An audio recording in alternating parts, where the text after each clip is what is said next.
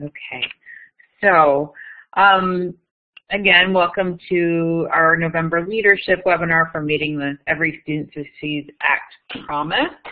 Today we are going to uh, present some recommendations from myself and Dale Frost, INACOL State Policy Director. We are we recently published a paper with our colleagues Susan Patrick and Susan Gentz that provides a framework for states who are wanting to take advantage of the new flexibilities in the Every Student Succeeds Act to advance student-centered learning. Um, I, I lead our Center for Policy Advocacy, and I have spent most of my career working in the federal policy arena with uh, with uh, various aspects, actually, of the Every um, Student Succeeds Act, otherwise known as ESEA, the Elementary and Secondary Education Act. So very exciting that after many, many years of trying to reauthorize this law, we finally have one on the books that we can start to create some space and that presents some real opportunities for states. Uh, we also have joining me Dale Frost, the State Policy Director for INACOL. Dale has served as a governor's education policy advisor, worked in a state, a state legislature, and is available to work with states on uh, any technical assistance or follow-up to this webinar.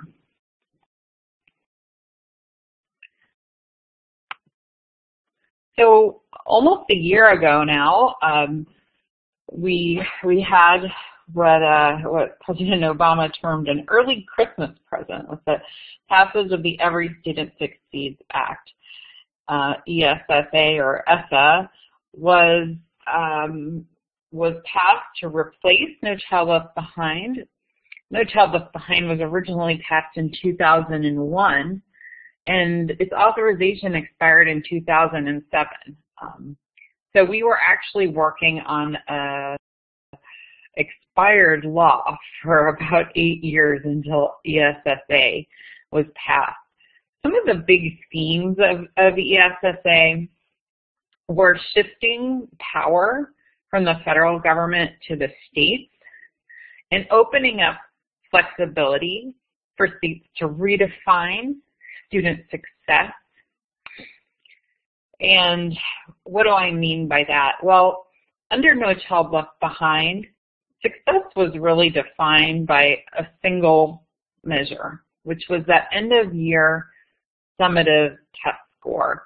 That really just gave us a, a snapshot from one point in time based on a specific set of, of, of knowledge, content knowledge, but it didn't reflect the full extent of the skills that students will need to be successful upon graduation in college and career and in civic life. And so this opportunity to redefine student success is very exciting because now with multiple measures accountability, states can move beyond that single test score and they can redesign the whole system around that. They, they can really use that new definition to drive um, a, a cohesive system that's aligned to a vision of student-centered learning.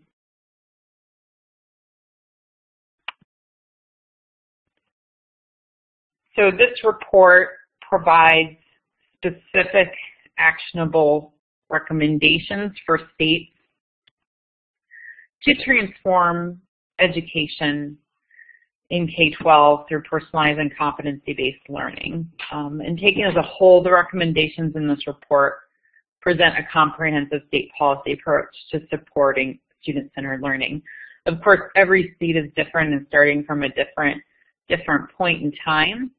And um, and so this is uh, it, it, will be customized and um, for for any state, some recommendations will apply while while others uh, uh, will not in certain states. So this is just something that um, that can be really customized to any state. Take take what you need from it. Just to level set, I know many of you um, are, are already working in the field looking down the participant list. Um, and, and if you'd like, go ahead and, and introduce yourselves in the chat. Um, and again, feel free to ask questions. Um, let us know where you're from and what work you're doing. I just want to level set definitions. What do we mean when we're talking about personalized learning? We're really talking about tailoring learning for each student's strengths, needs, and interests. Um, and, and the big uh, important part of this is enabling student voice and choice in what, how, when, and where they learn with flexibility and support to ensure that every student can, can get to, um, can, can be successful. So when we talk about personalized learning, we're, we're not talking about computer-based learning. Um, sometimes this term is used for that. That said, personalized learning can be, be powered at scale uh, through the use of technology to support teachers to personalize learning for every child. Um, then, then going through a few more terms here, competency-based education. When we talk about that, we're working from our five-part working definition um, that students advance upon demonstrated mastery. Competencies include explicit, measurable, transferable learning objectives that empower students. Um, so these, these are, uh, students know what they're expected to learn. That transparency is very empowering and creates more agency when students are allowed to uh, co-create their learning pathways towards those standards. And assessment is meaningful and a positive learning experience for students. So having assessments that are embedded in curriculum, um, that are, are project-based with, with performance tasks, where students can really see the connection between what they're doing and um, the, the skills they'll need to be successful. Um, it's, it's relevant to them. It's relevant to what they're learning and is not something that um, that is separate at the end of the year like we currently do testing. Um, and, and then the, the next part of this, that students receive timely differentiated support based on their individual learning needs. This is so important.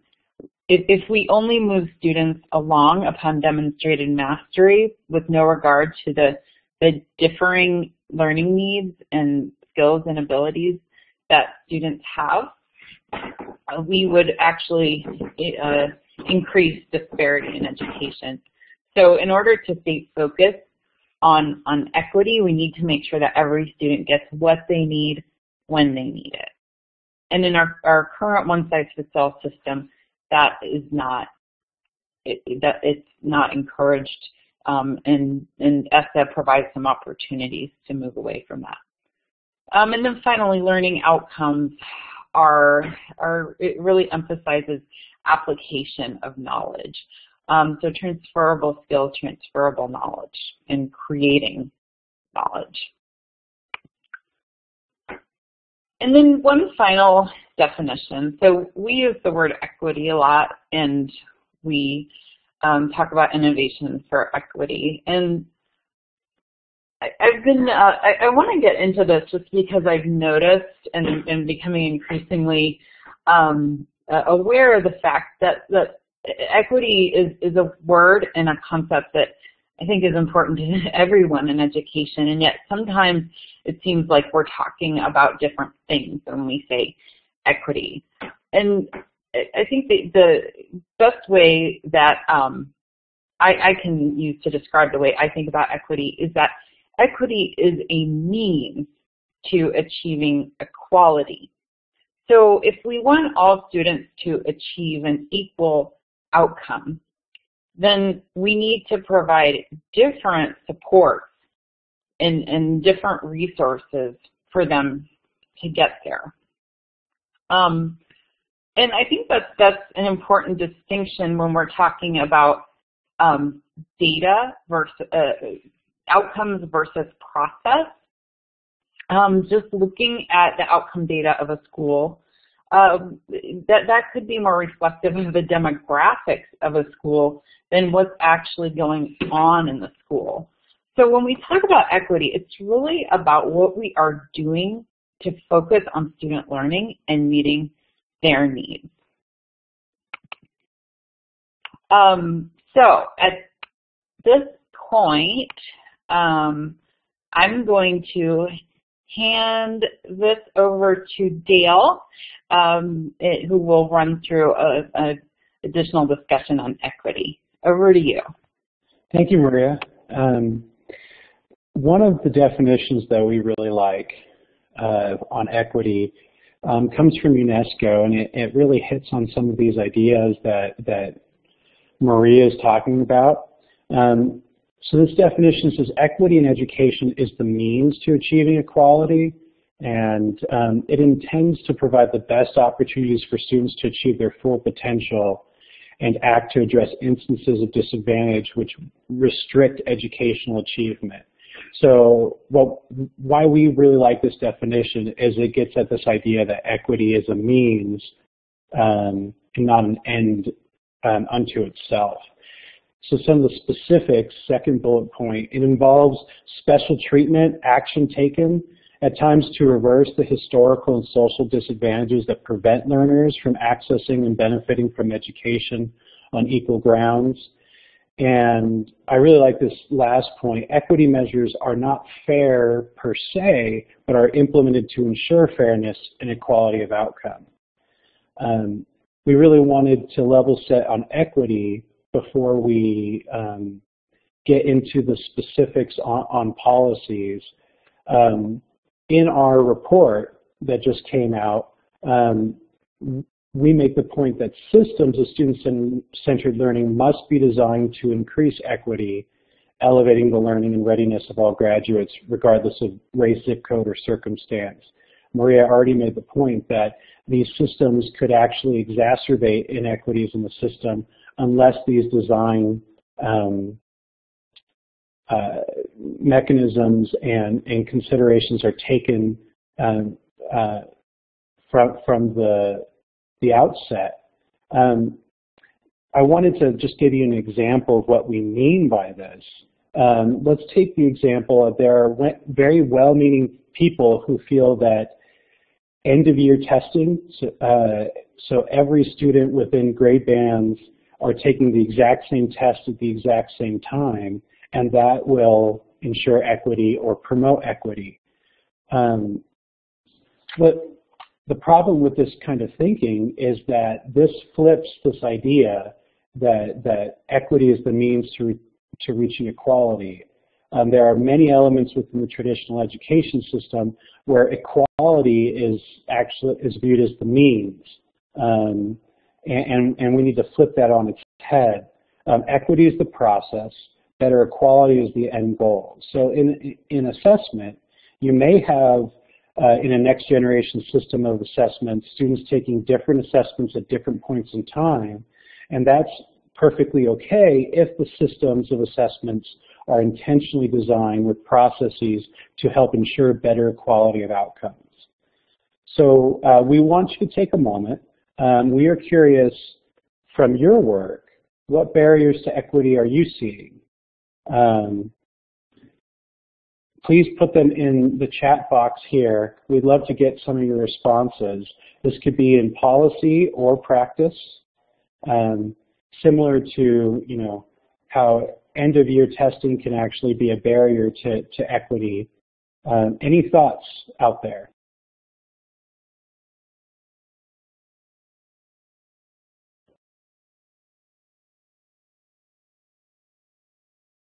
So Kirsten, access to technology resources. Uh, you, you, may have heard of the digital divide, especially it's getting a lot better within schools, but that still exists. But certainly for lower income students at home, that certainly exists.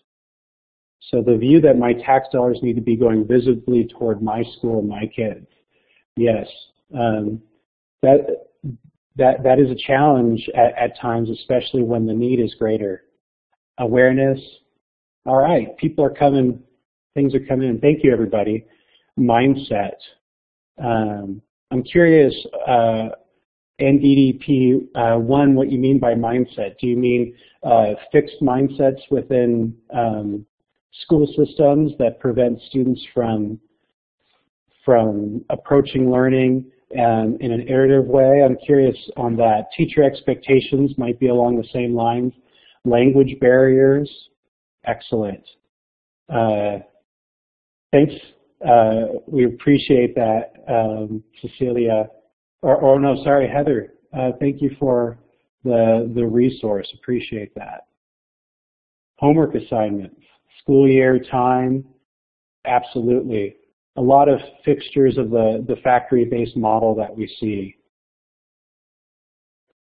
Okay, support from families. Oh, rural versus large schools. Interesting. Well, um, we wanted to take a moment to talk about equity and, and to talk about um, the, the goal uh, of why we would seek to transform education systems. Um, so let's so now let's get into the report.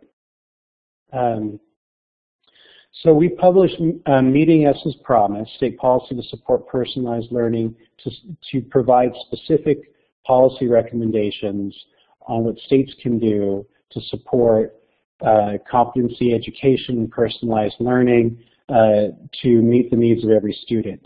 Um, we, as we surveyed uh, different policies, we also surveyed all of INACOL's members asking about the policy barriers that they faced. We uh, realized that there were really two buckets of policy issues. The Every Student Succeeds Act provides new historic flexibilities for three areas around accountability, systems of assessment, and, and teacher and school leader workforce systems. And then states have and continue to have very powerful opportunities to create personalized competency-based systems and to build new learning models infrastructure. And then the last point under continuing opportunities is to take all of these ideas and to advance a coherent system built for the long term. So we're going to go into each of these. Um, so the first one is around rethinking accountability for continuous improvement. Um, rather than accountability simply for, for labeling schools, um, and transparency is a very important function of accountability, but um, we believe that continuous improvement should be and is the primary purpose of a next generation systems of accountability. And Maria already talked a little bit about new definitions of student success going back to this idea, under No Child Left Behind, student success was really measured um, with grade level proficiency in English language arts and math. Those are very important, but we know those are not su sufficient, especially in a rapidly changing um, workforce. There are students who are in our K-12 system now who will be in jobs that haven't yet been invented. And we know that that will take both academic and non-academic skills and dispositions and knowledge that that's much broader than can be measured by a, a single proficiency rate. And so, um, we, so this new definition of student success will drive a multiple measures accountability system that will then drive continuous improvement. So specifically, what should state leaders do? Um, first and foremost, this needs to be um, done with stakeholders, not to stakeholders. And so who are some of these uh, stakeholders that we talk about in our, in our paper? They are clearly teachers and students, parents, and school leaders, um, but they also should be community leaders, civil rights groups, philanthropic groups, business groups. And the idea of stakeholder engagement also needs to change um, that it's really not a one-time activity, not a check the box sort of thing. We're talking about collaboration on a sustained and ongoing level. Um, and it's much deeper, it's more honest. And the purpose of this engagement with stakeholders is to redefine student success, as we've been talking about, to clarify what are the purposes of accountability, and then to align metrics within the system, school improvement strategies, capacity building initiatives to those definitions uh, of student success. We believe that this is a fundamental lever that can that can change the culture within states and within school systems to, to then unleash educator potential to create these personalized learning environments. Maria, I hand it off to you. Great. Thank you so much, Dale. And I just want to emphasize that what a huge shift this is from No Child Left Behind, uh, where accountability and assessment were really uh, really came to mean the same thing. You talk about the test and you think immediately about what's going to be done with the test data, um, which in turn uh, divorces it from student learning and, and just becomes a system of carrots and sticks tied to that one test. Just so much focus put, put around that test um, that became uh, a, a perverse incentive, as we all know, to focus on a a specific group of students that stood a chance of making it to proficiency. Under ESSA, we now have a chance to decouple uh, and reclaim accountability and assessment as separate concepts that work together and that could be empowering and an engine for equity for all students. Um, and, and so uh, the, the way that Dale, I was just so struck by the way Dale was talking about accountability. It's very different from the way we, we talked about accountability in the past. And I think this is a major shift in mindset for our whole field. Uh, keeping in mind that these are simply opportunities and not required by ESSA. Um, states will need to use multiple measures, but they will uh, they, will, they will not have to use them in new ways if they choose not to do so. So it's really on states if they want to take advantage of this opportunity. Um, so moving on to assessments. With ESSA, we have the opportunity to redesign state systems of assessments to align with student-centered learning. Um, assessment no longer has to just be of learning. It can be for learning. It can, it can serve both purposes and states can put together systems of multiple assessments that provide multiple measures of different aspects of student learning and student progress towards the competencies they'll need to be successful. Um, so we, we feel that systems of assessment should uh, provide timely data to teachers to differentiate supports based on individualized learning needs. When you get a test score at the end of the year or even after the end of the year, that doesn't help students. Assessments should also measure content knowledge, application of knowledge, and important skills and dispositions. So if we're only measuring content knowledge, we're not broadening that that definition of student success. We also want to know how students apply knowledge and um, also um, measure habits of learning. Now, keeping in mind when I talk about these things, we are decoupling assessment from accountability. We're not talking about uh, creating accountability around dispositions or non-cognitive skills. This is this is a, a, a, a new way of thinking about accountability and assessment. And then finally, this is the summative piece. Assessments should determine student progress on and mastery of standards and learning objectives. So, so it can do all these things under ESSA. Um, so we have systems of assessments and then we have the individual assessments. So just want to go over the things that ESSA now allows. Um, so uh, of course, summative assessments, um, assessments must provide summative information, um, but they can also be combined with interim assessments or broken up into interim assessments. Um, so long as interim assessments can combine into a single summative determination of proficiency, uh, we no longer have to have that single end of year test. Um, and the systems of assessments can also include formative assessments that could be used for diagnostic and continuous improvement purposes. So, for example, if um, a state is using uh, only the, an end-of-year summative, they could still have an aligned um, formative uh, or progress monitoring assessment that would empower students and teachers with the information they need to know whether a student is on track and, and how much they're growing. So states can figure out how they want to take advantage of this flexibility, but it is there.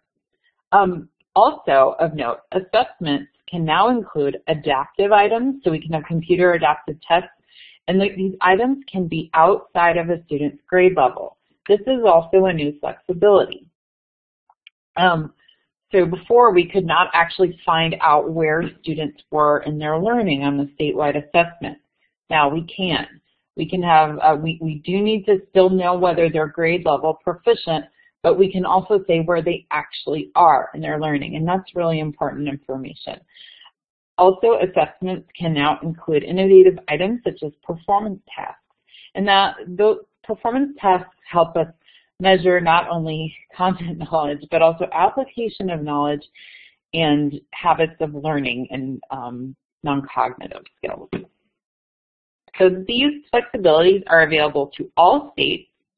Um, if states wish to pilot uh, a, a new or innovative system of assessment in a subset of districts, they can apply for the Innovative Accountability and Assessment Demonstration Authority that's a mouthful. I usually just talk about it as an innovative assessment pilot because that takes less time. Um, but the, um, this is really an opportunity for uh, states to build capacity around things such as common performance tests, like we're seeing in New Hampshire with their performance assessment for competency education assessment. Um, it, now that said, this isn't a free-for-all on local assessment. There are still rigorous technical quality and comparability requirements that states must meet um, with the innovative assessment pilot. And I also want to give a shout out to our friends over at KnowledgeWorks and the Center for Assessment who have put together a terrific set of resources around the Innovative Assessment Pilot, and you can go to innovativeassessments.org for that information. All right, uh, over to you, Dale, to talk about uh, building capacity.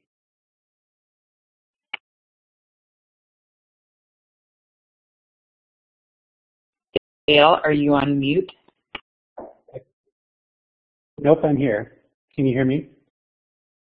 Yes. I, I think there was a slight lag uh, in, in, my connection. Um, sorry about that. So uh, assessment and, systems of assessment and accountability are very important. Um, but until we build educator capacity to, create these models, to implement them effectively at the local level, um, we, we think that's the real opportunity to, to scale personalized learning and, and change life trajectories for students. But how do we do that? And, and what are the opportunities under ESSA um, to, to do that. First, um, we believe that, that not only can we promote a new vision for student learning, but also for professional educator learning. Um, this graphic um, came from, eh, from a paper that Maria and Lillian Pace from KnowledgeWorks uh, wrote a couple years ago to paint the picture for a next generation educator uh, workforce system. The, a couple of the problems with our current system um, are that um, the pieces of pre-service preparation, credentialing, professional development, evaluation are very siloed. They're separated. They're, they're also not aligned and they don't talk effectively to each other. Um, and, the other problem with our traditional system of ed educator preparation and development is that um, many of the structures are time-based and they're not and they're not personalized. This graphic gets at the idea of um, a next generation educator workforce system that is both seamless and competency-based. So the first two pieces here, um, pre-service preparation, state credentialing. Um, so uh, licensure, credentialing should drive personalized learning pathways um, for pre-service preparation programs. Um, we think that's a key lever for policymakers. On the other side, evaluations can um, be rethought just like accountability to be around educator continuous improvement and drive personalized competency-based professional development for educators. So let's get a little more into these ideas uh, on what um, systems and state policymakers can do to move towards a system that looks like this. Um, the, so to create the seamless aligned system, um, the first thing that uh, policymakers and states can do is to engage a wide range of stakeholders. And this time to develop competencies that align to the state's academic standards and reflect the skills needed for personalized competency-based learning. Uh, we all know that that personalized learning and competency-based learning puts a lot more responsibility on students and requires a different skill set from teachers. Uh, rather than being the sage on the stage, they are the coach on the side and allowing uh, students to drive their learning much more. Um, most teacher and educator preparation programs do not effectively prepare teachers for this. Um, so by clearly defining what is expected and needed for these teachers uh, and school leaders, uh, you can then drive uh, licensure and accreditation. Um, the next thing is you can um, align teacher and leader preparation program accreditation requirements to these competencies, and that's when you'll see the real change. Um, Teachers also should have multiple pathways to attaining competency-based credentials. Um, and, and, and, that should include the, the fourth piece, which are micro-credentials. We think micro-credentials hold um, a lot of potential uh, to, uh, to rethink the system, both for um, uh, licensure as well as continuing education credits for, for professional development for those who haven't heard of micro-credentials, Digital Promise um, has done a lot of work in this area. Um, they define a micro-credential as, as, something as a, um, something that focuses on a single competency, has a key method backed by research, requires the submission of evidence, and includes a rubric or, or scoring guide. So this is very different than you know the requirement that um, a teacher have 30 hours uh, of, of continuing education credit to be able to recertify under state law. Um, it's also very different than um, saying you must have um, three credits in, in classroom management or da data analysis um, uh, under the traditional system. Um, a key way to think about it is micro-credentials are mechanisms for competency-based learning for, my, for educators. Um, then ongoing job-embedded professional development has the potential to build capacity in educators and school leaders to transition to these new personalized models of instruction.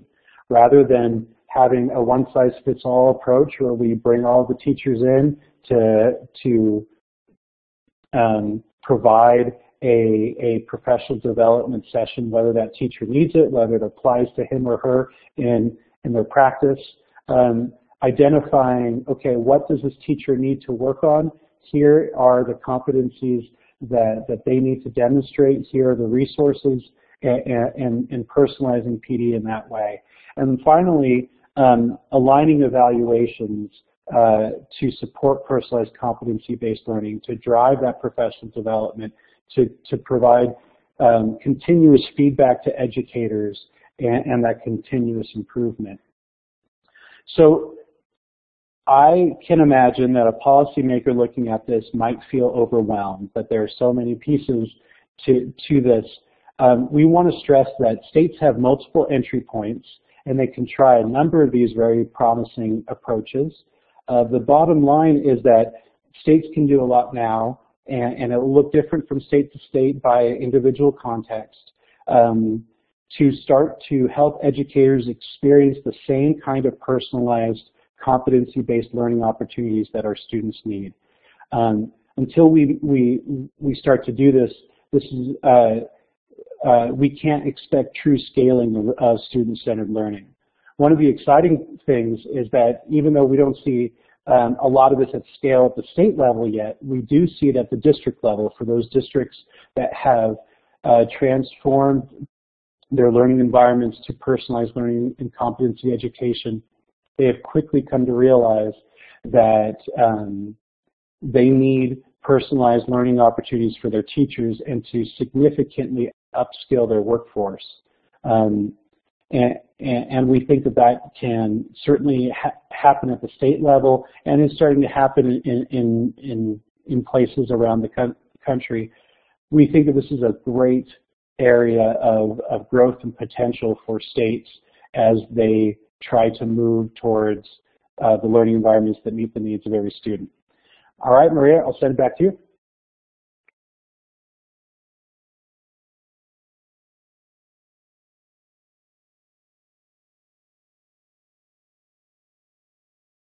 Maria, are you on mute? Oh, sorry about that. I was on mute. Talking to my computer alone. Um, so yes, thank you so much, Dale. And just to wrap up this conversation on the uh, new opportunities under ESSA. So we've talked about accountability, the opportunity to re redesign accountability for continuous improvement, um, we've talked about assessment, aligning systems of assessments to student-centered learning, um, and to support student-centered learning, and we've talked about next-generation educator workforce systems to build the capacity to take on the new skills that educators and leaders will need to personalize learning at scale. Um, it, the, the opportunity that ESSA provides is uh, getting rid of the highly qualified teacher um, provision that required teachers um, to have a, a certain um, credential or degree um, it, that was based on inputs rather than actual competencies or skills. So what Dale's really talking about is the opportunity to um, rethink what it what it means just like we're rethinking success for students, we can also rethink success for teachers. And again, this is simply something that's on the table that states can do. They don't have to do it. Um, and, and as Dale said, there are many different entry points. So now we're going to move to talking about the continuing opportunities. So what does this mean? This means that states, prior to ESSA passing, actually had quite a few um, uh, quite a few options available to them to advance personalized and competency-based learning. In fact, the reason that ESSA does provide so much space for this work is because of the work of frontline innovators that have been working over the last decade or even two decades in some places to do this work at scale and that just kept running up against these systemic barriers. So um, states have have had until now many opportunities to advance competency education. Um, and, and so what we say in the report is that districts and schools can make incremental shifts to student-centered learning without state supports or policy flexibility. However, transformation at scale will uh, require alignment and synchronization of policy with innovative practice. And what that means is we don't want the federal government um, or the state government to, to mandate personalized competency-based learning. Um, what we do want is for policymakers to understand that they can open up room and flexibility for states to do this and for local leaders to do this. And what, what are we moving away from?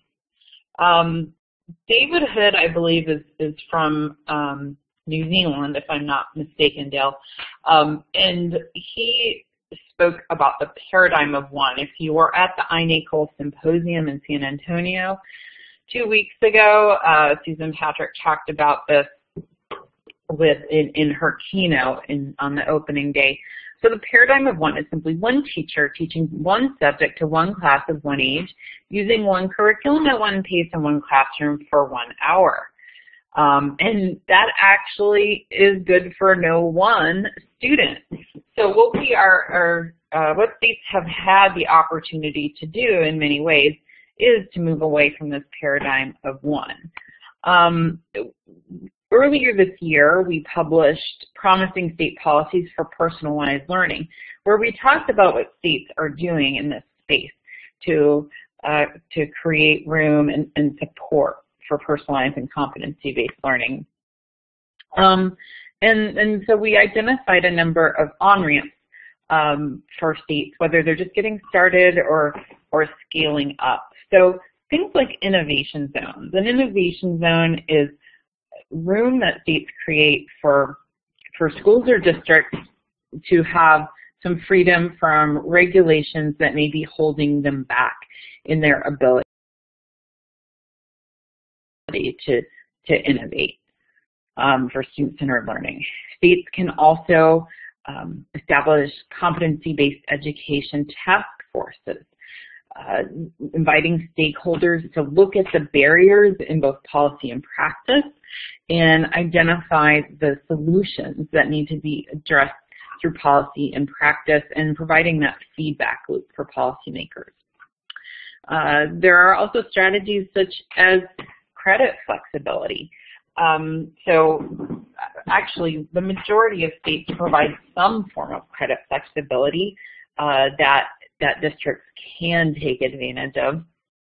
Um, generally, though, it's on a case-by-case -case basis, uh, either student by student or district by district, uh, where where they can have the opportunity to uh, redefine a credit uh, as a unit of learning rather than a unit of time.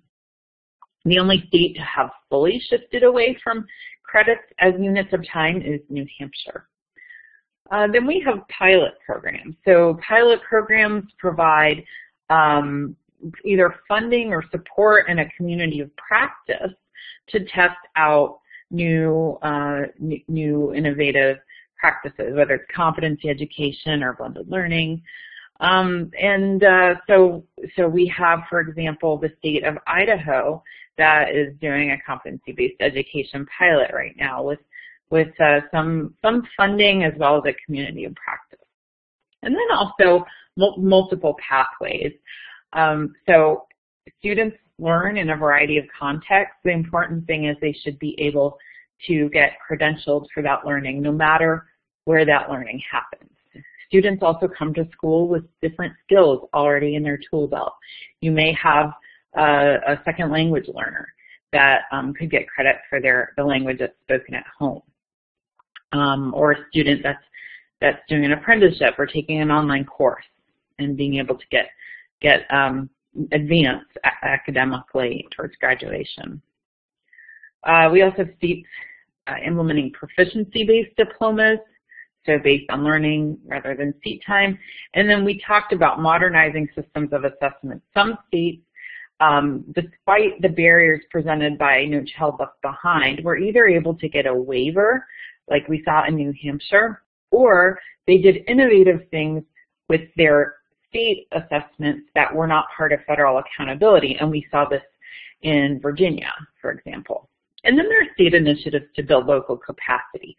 Even in a state that does not have um, uh, necessarily a robust system of supports for for uh, in policy, um, they can they can put they can really um, through sort of the human capital in a state uh, a support district. So, for example, in Arkansas, where you sort of have a patchwork of policies, so there is an innovation zone in Arkansas, um, but their accountability and assessment um, system is, is not conducive to personalized learning. But the state has really invested in capacity by opening an office for innovation and education um, that has really served as a, a convener in building capacity around uh, competency-based and personalized learning. And then you have um, a comprehensive statewide policy approach. So a state could come together and say, we want to really be thoughtful and intentional about how we coordinate and put together our policies so that they're all working together um, to support continuous improvement of student learning. And uh, the state that we know that's doing this is Vermont, and we're hopeful that now with No Child Left Behind and adequate yearly progress and one-size-fits-all interventions are behind us, the new space in ESSA, that more states will be able to take this on. Uh, the reason that, that Vermont was able to take it on was they were one of the few states that actually didn't get a waiver from No Child Left Behind, and all of their their schools were labeled as being in need of improvement. So what that did was it, it actually gave everyone some space to say, okay, well, we're all in need of improvement. We all need to be turned around. Let's all have a continuous improvement mindset um, and uh, and help each other get there collaboratively. So that's what Vermont's been able to do under those special circumstances. All right, um, let me hand this back off to Dale. Um, and as we are nearing the end of our formal presentation, we don't have a lot of time left, but please feel free to uh, put any questions you have in the chat and we'll get to them if we can. Thank you. Great. So uh, finishing up uh, the the policy issues, building new learning models infrastructure. Uh, so these are the important pieces that need to be in place so that anytime, anywhere learning and, and personalized learning um, can, can take place and fully utilize technology to scale these competency-based and personalized learning environments. In the report, we say a well-distributed statewide learning infrastructure is essential to personalized learning at scale. Um, so how do we make these things happen? Um, a lot of, of, states have made great progress in this area. Um, these are important enabling structures, but they are not uh, sufficient, and that uh, that is why these other issue areas that really uh, unleash uh, educators to use these resources well to personalize education are so crucial. So very quickly, under broadband connectivity, states can explore things like pooled purchasing agreements, statewide contracting. Um, they can look at strategies to make free or discounted broadband connectivity for economically disadvantaged students. There are very interesting things happening within districts and, and partnerships such as libraries, checking out mobile hotspots, and, and districts parking Wi-Fi enabled buses within lower income areas. Uh, there, are, there are a lot of things that can be done to really power anytime, any learning. Um, on data systems, INACOL came out with a report in May about um, systems uh, requirements for IT systems to truly enable uh, uh, personalized learning. Um, we think that states can support the development of data systems aligned to personalized competency-based learning. The third one is open educational resources. Um, the, these are openly licensed, uh, uh, this is openly licensed content uh, that, that is created that can be shared and can be um, uh, amended.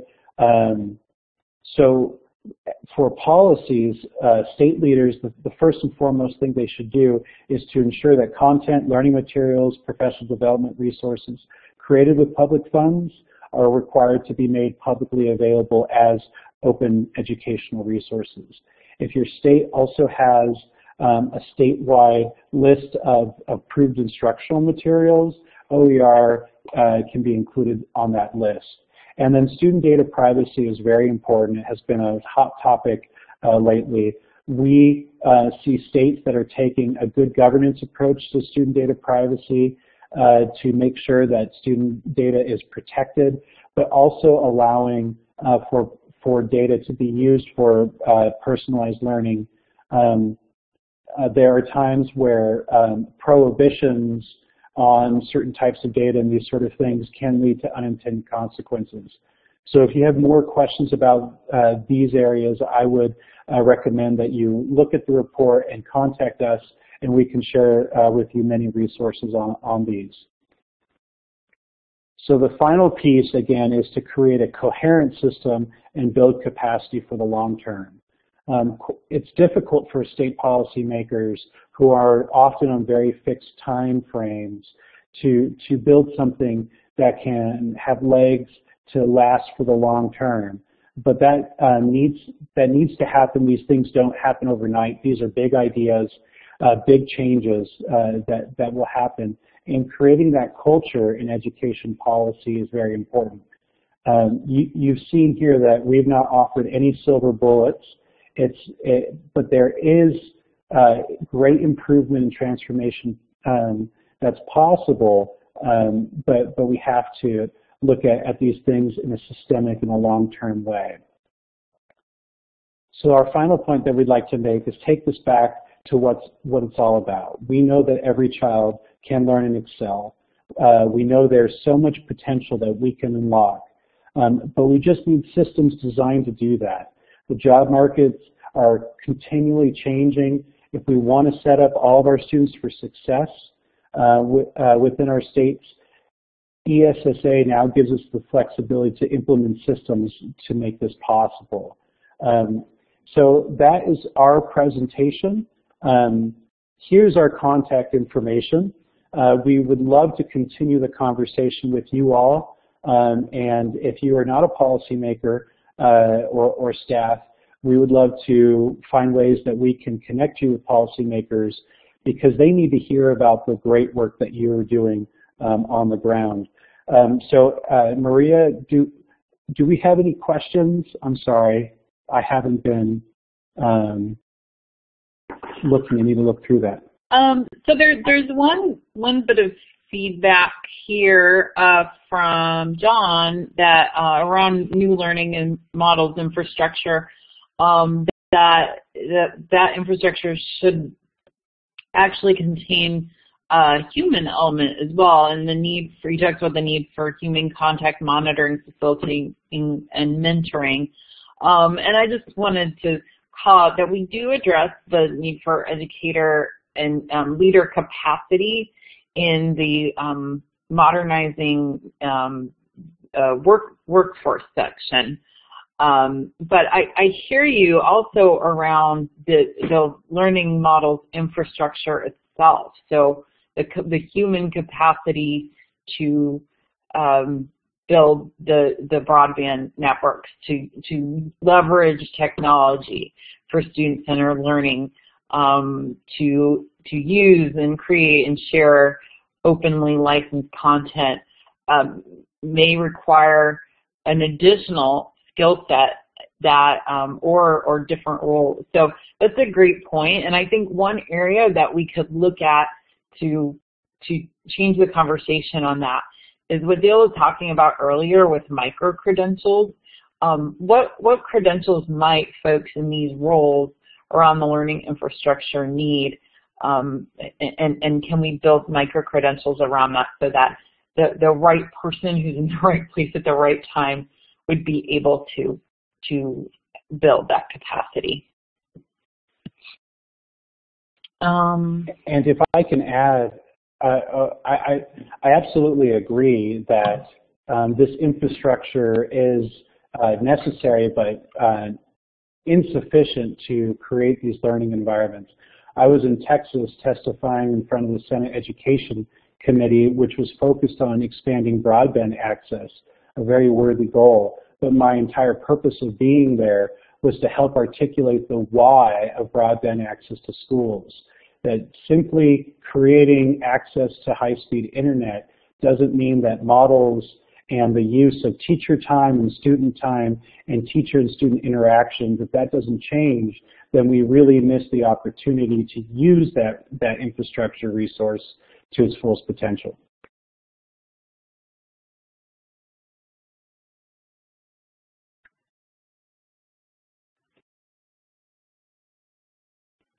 Great. Um, so we, we have we, we have, have another question. question. Oh, go ahead.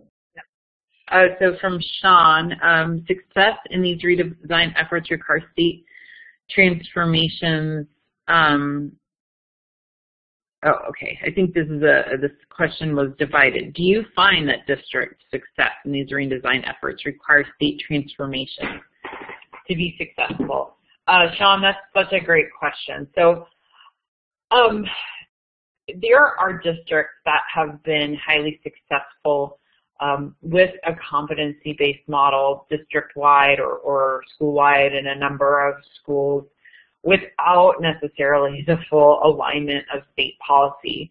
Uh, indeed, until until ESSA passed, there was there was no state that had the full uh, ability to provide the, the full flexibility that that might really enable this at scale.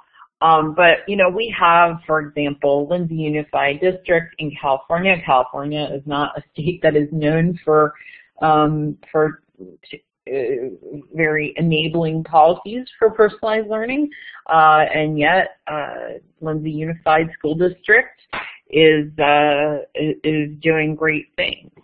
Um, so so I think it's a mix of both, and that's why we talk about the need to synchronize policy and practice.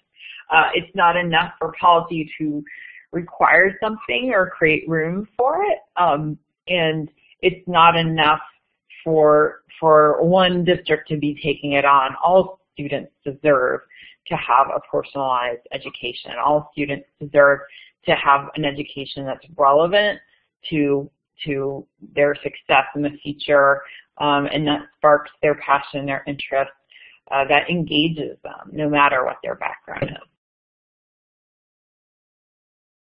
Okay, well, we have come to the end of the time. Uh, thank you so much for joining us today, and thank you for, for your great questions and comments. We do encourage you to, to continue uh, to engage with us, to stay in touch with us. We'd love to hear from you, and if you're from a state, we would love to uh, help you out as you think through ESSA implementation and your state plan, so please feel free to reach out to us. Our email addresses are here on the screen. Um, and again, you can download that report, uh, meeting ESSA's promise at our website, inacol.org. And if anyone would like hard copies, please just let us know and, and we can get those uh, we, we can get those arranged for you. So anyway, thank you so so much for coming and we hope that you have a great afternoon.